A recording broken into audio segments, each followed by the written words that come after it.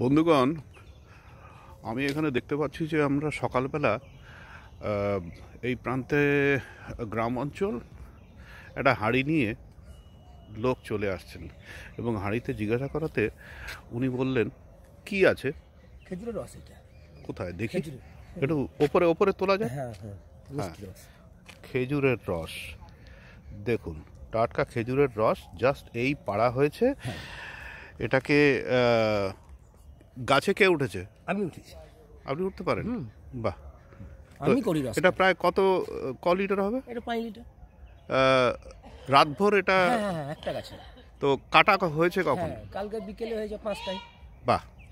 Very good পাঁচটায় হয়েছে এই ধরুন এই পাল্লা এই সাতটা দশ পনেরো হবে। এই সুন্দর রসটা আমরা খাব তো? হ্যাঁ বাহ। আসুন। আসুন। তোমার অপেক্ষা সেই পাঁচটা একচল্লিশ থেকে করছি। দশটা ভালো থাকবে কালকে সকাল সকাল হবে।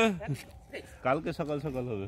ঠিক আছে একচল্লিশ থেকে আচ্ছা এই কালকে ছটার মধ্যে টাটকা খেজুরের রসটা খাওয়ার জন্যে বাচ্চাদের মতন ছটপট করছেন আপনাদের আমরা দেখছি।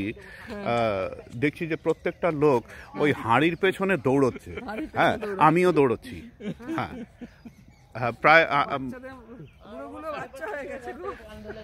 গ্লাস নিয়ে এসো। হাঁড়ি উল্টে দাও।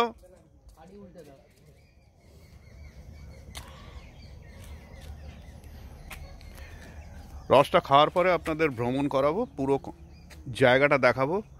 জায়গাটা সুন্দর বেশ অনেক কিছুই আছে।